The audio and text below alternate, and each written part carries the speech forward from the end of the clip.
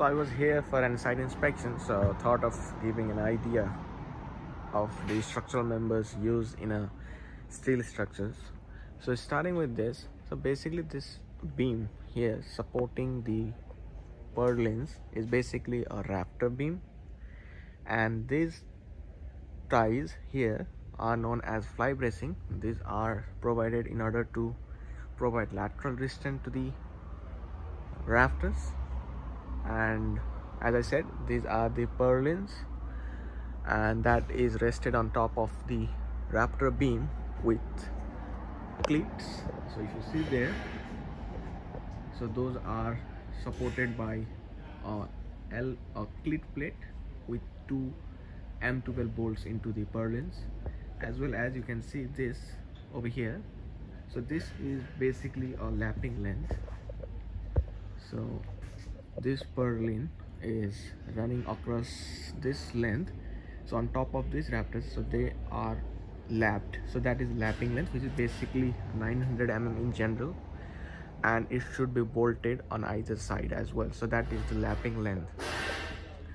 In addition to it for the lateral load we provide bracing on roof. So this is the cross bracing provided on the roof uh, it may be an angle it may be a, a rod bracing depending upon the load.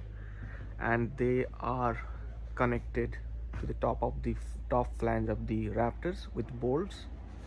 And at the end we have a strut which can be again an angle or circular hollow section or a rectangular hollow section so that is a strut which takes the load from this cross bracing in this direction. So that is the along the minor direction.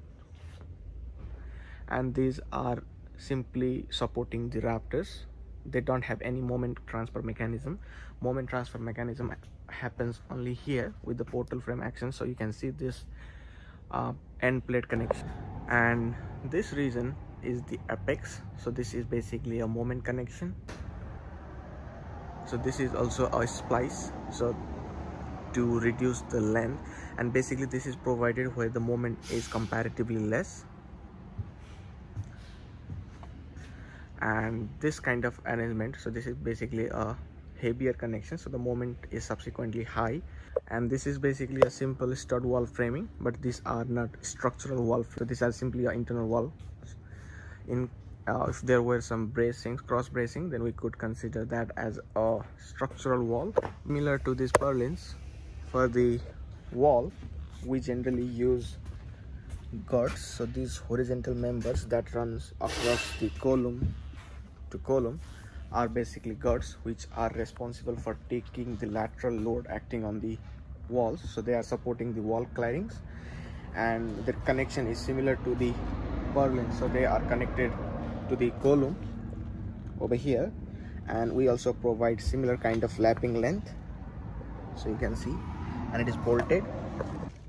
You can see here they are connected to the column with the plate and a bolt arrangement